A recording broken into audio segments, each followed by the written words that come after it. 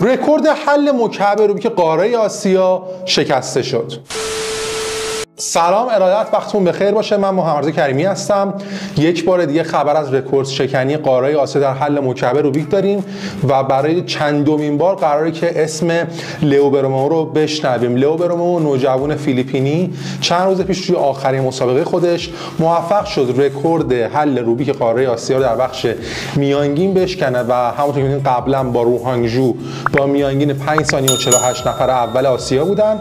الان تونست به به صورت انفرادی این رکورد رو بشکنه و تونست با میانگین 5 و 24 یک بار دیگه برای فکر کنم پنجمین یا ششمین بار رکورد قاره آسیا حل روبیک در بخش میانگین بشکنه. اونطور که می‌دونین میانگین به این صورت گرفته میشه که بهترین و بدترین رکورد حذف میشه و میانگین سه حل وسط گرفته میشه و قهرمان هر مسابقه یا هر قاره یا هر چیزی رو با میانگین در نظر می‌گیرن و لئو بروما نوجوان فیلیپینی تونستش که یک بار دیگه رکورد روبیک قاره آسیا در بخش میانگین بشکنه. بریم ما هم ویدیوشو ببینیم و برگردیم.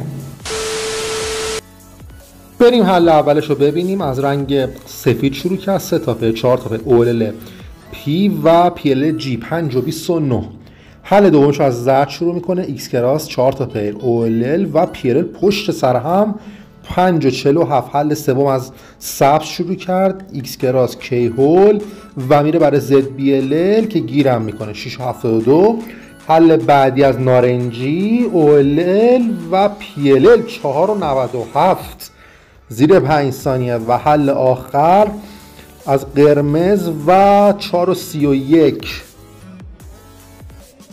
همونطور که دیدین 5 تا حل فوق العاده رو داشت. مکعبش توی این ویدیو GAN 13 Maglev بودش. همچنین تونست رکورد کشور فیلیپین رو به 4 ممیز 31 ارتقا بده. رکورد که باز هم دست خودش بود و الان دوباره اون رکورد شکست. یعنی توی یک روز هم میانگین آسیا رو شکست هم رکورد کشور فیلیپین رو تونست بشکنه. این نوجوانی که حالا از دوران کرونا از تو لیگ Monkey خیلی معروف تر شد و خیلی هم مخاطب داره. امیدوارم که لذت برده باشین از حلاش. حتما ویدیوهای دیگه هم در موردش می‌ذارم.